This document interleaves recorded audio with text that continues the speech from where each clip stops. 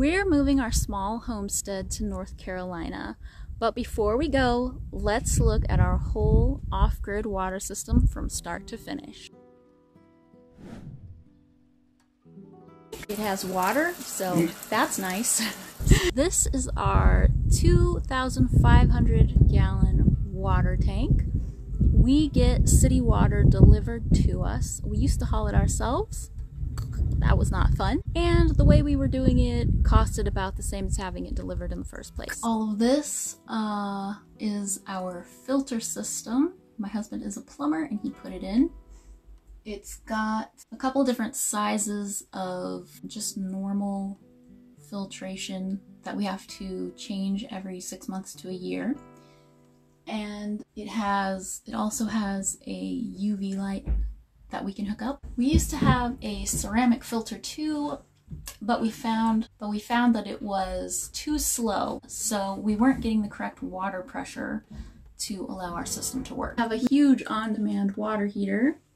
It's the biggest and the best, but unfortunately it was a mistake for this small of a space. If we don't get the correct water pressure it just doesn't work because it is created for a very large space. The water will start cycling between hot and cold and it doesn't make for a very comfortable shower. We've tweaked some of the other things so that it works better for us now, but I definitely don't recommend it. It was an issue for a really long time. This type of heater also wastes quite a bit of water while it's heating up. It just takes longer of course, because it's not sitting with hot water in it like a normal water heater. Right, here is our ginormous kitchen sink.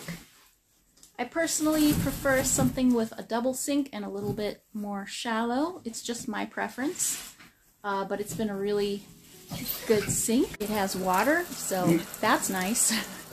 if you hear noises in the background, it's because my family is literally packing up boxes today um, because we are leaving. We have this small bathroom sink. It does the job. Nice little ceramic thing. Let's see, I might have to get in the shower. And we have this low flow shower head. In the shower, it's a nice little filter to get out any impurities and if you set the flow too low then again the water pressure isn't enough for the heater to work so this steel pipe down here gathers a little bit of calcification and let's look at the tub. Okay, so we have a stock tank for our tub and that would use way too much water if we actually filled it up to use it. So we don't, we just shower in it. And also it, it has a tendency to get rust in it. So it's cute, but I don't really recommend it. Okay, let's talk about the gray water. The used water used to drain to a more complicated system, but we found that it just gets trapped in the different pipes and things uh, because of the stuff that goes down the sink, you know, it just starts clogging things up over time and it causes a lot of problems and it smells bad once it starts to get all clogged up. Eventually we so eventually we learned that simple is better. The system we use now is piped to a three foot pit. The cover is right here behind me, this green thing. The pit is lined with some thick gardening cloth and filled with gravel. It has a cover to keep the bugs out, that's very important, and it's surrounded by a foot of wood chips.